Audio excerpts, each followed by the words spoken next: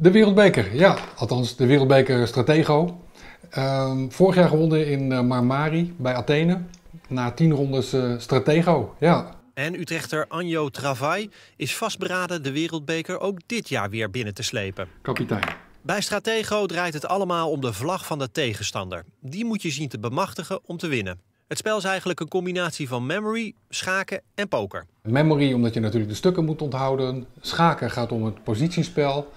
Maar uh, poker is ook hartstikke belangrijk, want je moet goed kunnen bluffen en je moet een beetje kunnen doorzien wanneer iemand anders bluft. En je moet een beetje kansen in kunnen schatten, waar kan ik wat winnen en waar kan ik wat verliezen. Genoeg gepraat, Anjo moet zijn spullen pakken. Op naar Naarden, waar het wereldkampioenschap van het fameuze bordspel gehouden wordt. Vandaag komen de spelers van, eh, van over de hele wereld die komen hier om eh, de titel wereldkampioen Stratego spelen. En dat is een zeer eervolle titel, waar, waar een hele hoop mensen heel erg vrolijk van zouden worden. Gespannen wacht Anjo af tot hij zijn troepen in stelling mag brengen. De concurrentie is moordend. Maar die wereldbeker die komt natuurlijk gewoon weer naar Utrecht.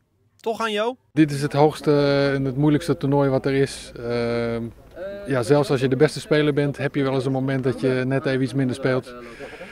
Dus het uh, wordt moeilijk. Ik ga mijn best doen, oké? Dat beloof ik.